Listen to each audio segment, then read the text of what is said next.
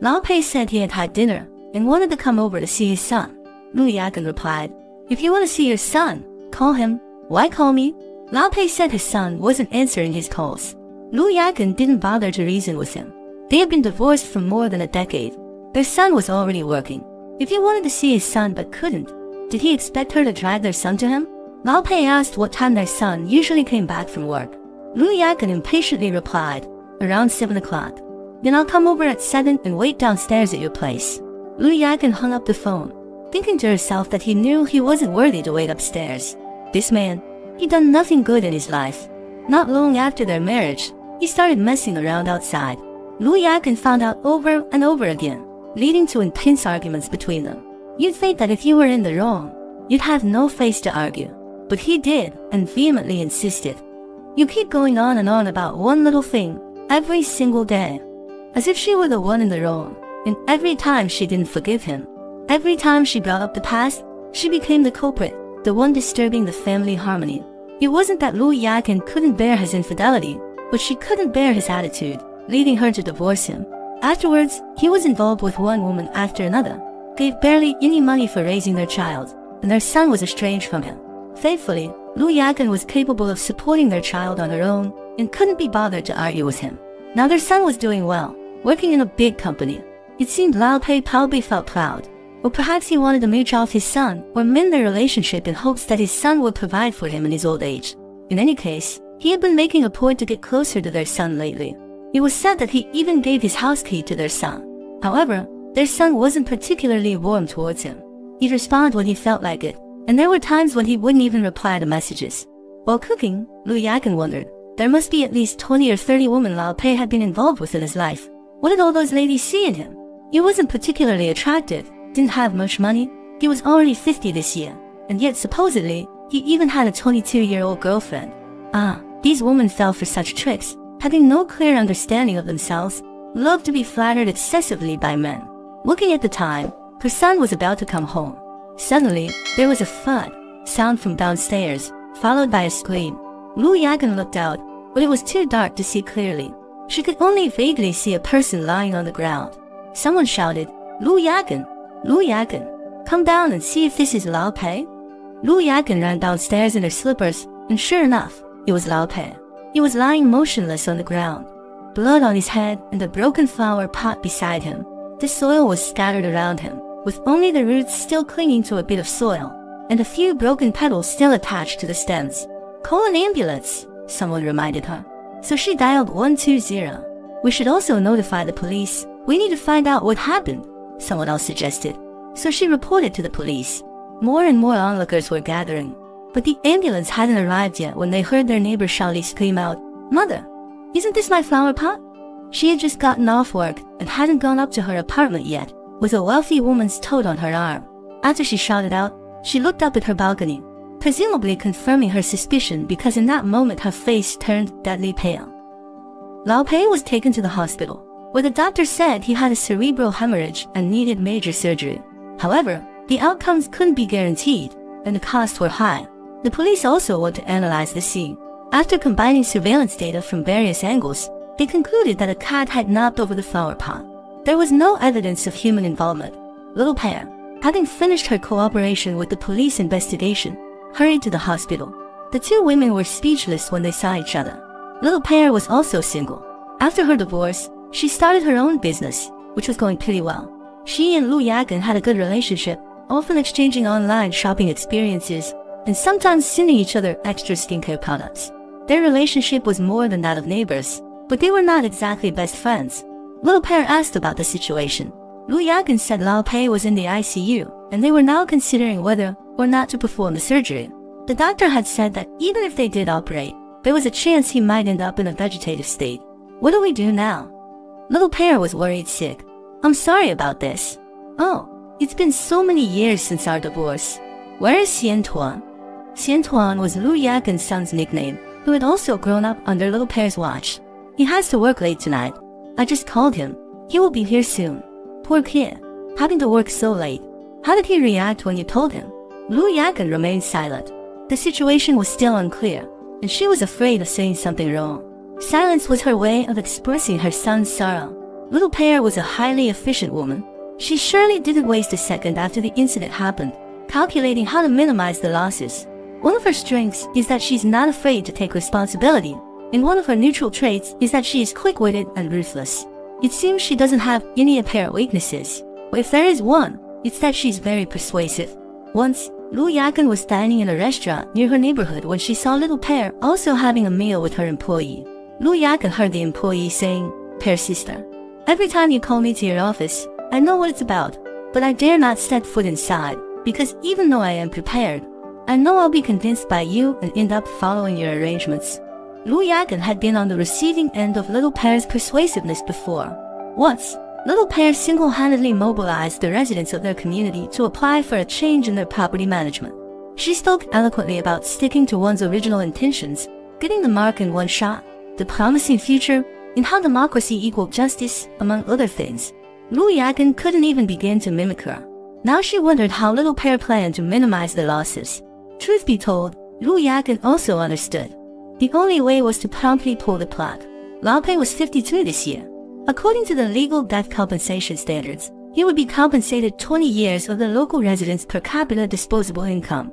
The current annual per capita disposable income was just over 30,000 renminbi. If Lao Pei died instantly, she would only have to compensate 600,000 plus some funeral expenses, a total of around 700,000. But if he underwent surgery, needed repeated surgeries, and then became a vegetable for 10, 20 years, the expenses would be much more significant, a burden for half a lifetime. Of course, Lu Yagen also wanted to pull the plug directly to avoid adding trouble to her son's future, but she couldn't be the first one to bring it up. After a while, Xian Tuan arrived. He spoke with the doctor for a while and came back with red-rimmed eyes. What's your opinion? Lu Yagen asked. I'll listen to you. We should treat him if it's possible. After all, he is your father. Lu Yagen deliberately said. She wanted to raise the bar for negotiating a private settlement with Little Pear, especially now that Little Pear had seen how much influence she had over her son. Treat him, treat him. Little Pear feigned agreement. I've paid for today already. My credit card is maxed out. I'll raise more money first thing tomorrow. Then, each feigning concern for the other, they recommended each other to go home and rest, saying goodbye at the elevator. After Little Pear left, Xian Tuan suddenly said, Mom, I saw that woman. Which woman? My dad's girlfriend. I've seen her on my dad's phone before. She doesn't know me. Where? She was squatting in the hallway crying. I heard her making a phone call. Xian Tuan said the woman in her early 20s was weeping miserably. She had been dating his dad for more than a year now. The last time she wanted to buy a dress worth over a thousand. His father didn't want to pay for it. They were in the middle of arguing. The girl wanted to ask for 50,000 renminbi as a breakup fee, but he refused and only offered to give her 10,000 renminbi if she left. Now he hadn't even delivered on that 10,000 renminbi, and then this happened. She was crying, cursing her rotten luck. She had even gone to ask the doctor about his condition. Ridiculous, Lu Yagen said. Wait, how did she get the news so quickly? People in relationships these days seem to like to use some kind of family tracking or map sharing feature which shows each other's phone location. Disgusting. Xian Tuan sighed and said no more. Although Lu Yagen had gone home, she was wide awake until dawn. There were two difficult issues at hand. One was to get more money from Little Pear, and the other was dealing with Lao Pei's young girlfriend. The money the girl wanted from Lao Pei hadn't even been delivered yet. How could she let Lao Pei die? This kind of desperate girl had to be handled with caution. Even though she didn't have the right to decide to discontinue life support, if she made a scene, it wouldn't look good for anyone. If she also wrote a post online explaining how heartless the ex-wife was, how she was the one who truly loved Lao Pei but had to watch him die because she was one step short of being recognized as his spouse, Lu Yagen didn't have the time to argue with her. It wasn't even 8 in the morning, but little Pear was already knocking on the door. She brought over a bowl of thick bird's nest soup and advised Lu Yagen to take some. Lu Yagen said she couldn't eat anything, but little Pear insisted, I'll feed you. Lu Yagen shook her head. I'm in a bit of a bind with Lao Pei's situation. She couldn't wait to remind her to get to the point. Little Pear sat down next to her and began to reason with her. She was very orderly, first expressing strong guilt and sympathy, and then envisioning the future for Lu Yagen and Xian Tuan. Xian Tuan hasn't started dating officially yet, Having a father in a vegetative state definitely wasn't good news. Moreover, Lao Pei had brain stem injury. Even if he wasn't in a vegetative state, he wouldn't be able to take care of himself for the rest of his life. Wouldn't it be a torture for him too? Lu Yagen responded with a ma'am. So your opinion is? Little Pear quickly straightened up. Yagen, we have to think about the future of the child. Xian Tuan still has a long way to go. I'm the main culprit. I shouldn't say too much, but I feel for you, Yagen. Life is only a few decades long, and you've already sacrificed so many years for him. If Xian Tuan has to sacrifice more years for him because of my mistake, I, seeing Lu Yagen frown slightly, Little Pear stretched out a hand and said, Sis, this amount, I'll give it to you separately, as long as you can make the decision for Xian Tuan. Signing to remove the life support one day earlier would spare the old man one day less of suffering. As for the other compensation, I'll pay it to Xian Tuan according to the legal provisions. What do you think? Lu Yagen said, at least 100,000, one-time payment. Little Pear thought for a moment. Business is tough these days. It's hard to make money. My son, Xian Tuan, is indecisive, soft-hearted. If I don't step in, you'll wait for him to decide? He'll definitely treat the old man and take the burden upon himself. After all, the subsequent cost of hiring caregivers or hospitalization won't come from him. Okay, give me a few days, but you have to make sure you can make the decision for Xian Tuan. Of course, this matter, we can never reveal it to Xian Tuan in our lifetime. He's just a kid. I'm afraid he won't be able to handle this sort of transaction. When the time comes, we'll draft a contract between us. Naturally, we can't tell him. The money will be his eventually anyway. Little Pear once again brought the bird's nest soup to her, and Lu Yagen took it and sipped it. A subtle atmosphere of pleasant cooperation filled the air between them. As Lu Yagen handed back the empty bowl, she said, But there's one more thing. Little Pear, whom? Lu Yagen brought up Lao Pei's young girlfriend. That girl had dared to cry in the corridor last time. Next time, she might dare to cry on Lao Pei's hospital bed. If she wanted to make a fuss, things could get ugly. The girl was younger than Xian Tuan. How would it look if she threw a tantrum there? Thus, they should take care of the money that the girl wanted. After listening, Little Pear pondered for a while. How much do you think can settle it? Around 20,000? Just a brat. We can split that between us. The main issue is not to give her the money directly. Splitting the money, Lu Yagen could accept, but her worry was not to hand over the cash directly. After all, they didn't understand the girl's mentality. Just coming forward and offering her money in exchange for her absence would be like handing her a weapon. It was purely inviting trouble. Generally, if they ignored her, she wouldn't be able to create much of a storm. The main issue was that Lu Yagen cared about her image and was afraid of the girl making a fuss and showing her and her son to be cold and heartless in comparison to her profound sense of loyalty. Little Pear stood up, shrugged her shawl onto her shoulders, and grumbled as she walked like an old-timey leader. How can people be so foolish? Encountering such a situation but not running away, still worrying about that little bit of money. Does she want to take care of the old man for life? Unlikely. She probably just can't come to terms with the situation, and she's lacking someone experienced to guide her. Or maybe she truly has feelings for him. That would be tricky. We can't just pay her off directly. She's his official girlfriend now. If we offer her 10,000, what if she suddenly comes to her senses and demands 100,000? Lu Yagen waited for Little Pear to produce a solution after all, she was quick-witted. Do you know his phone unlock code? Lu Yagen shook her head. Do you know his bank transfer password? Lu Yagen thought for a moment and said, he most commonly uses the card from Xbank, and he occasionally transfers money to Xian Tuan using that card. He's been using the same two passwords for over a decade. I should be able to guess it. Little Pear said, well, let's take a gamble and bet that she knows Lao Pei's phone unlock password. Didn't he mention they shared their locations on some app? If it's at that level, there's a high chance she knows his unlocked password. And since you know his bank password, we can make this work. After learning of Little Pear's plan, Lu Yagen got hold of Lao Pei's phone from the doctor. It was out of battery, so she charged it. Then she had Little Pear transfer a dollar from someone else's phone to Lao Pei's account. The message displayed on the screen showed that he still had a balance of over 20,000.